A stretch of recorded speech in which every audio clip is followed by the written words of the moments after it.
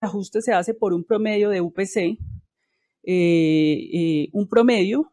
Eh, el UPC aumenta, de, están pidiendo que aumente 7 puntos, se busca un promedio de 8 a 15 para favorable inclusive a las EPS que supere la inflación.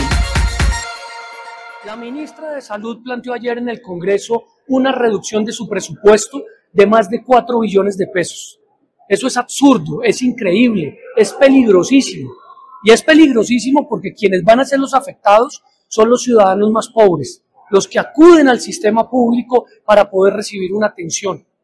Es peligrosísimo porque seguramente las dos millones de consultas que se realizan diariamente en Colombia no van a poder seguir atendiéndose. Por esa razón hago un llamado a la sensatez, a que no utilicemos ni el populismo, ni mucho menos esto como estrategia para ambientar una reforma a la salud que se viene el próximo año. La ministra lo que busca con esto es debilitar el sistema de aseguramiento, hacer que fracase, hacer que comience a fallar, para tener la excusa después de presentar su reforma y que le sea aprobada. Ministra, nosotros no tragamos entero y los ciudadanos tampoco. No juegue con sus vidas. Si algo les pasa, es su responsabilidad. Pero la señora ministra expresó, y abro comillas si me lo permiten, en la Cámara de Representantes, Comisión Séptima, la semana pasada lo siguiente. El cálculo de la UPC tiene muchas variables, que son parte de las que dije hace un rato. La propuesta que había sobre el 14,97% son las proyecciones del anterior gobierno, las que se hicieron con base, después de 18 años, de cada uno de los regímenes.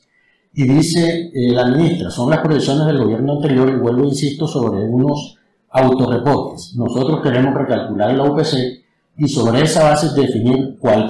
Por lo pronto, vamos a asumir el 12%, porque no podemos asumir un aumento sobre unos cálculos que realmente no tienen suficiente sustento, dice la ministra.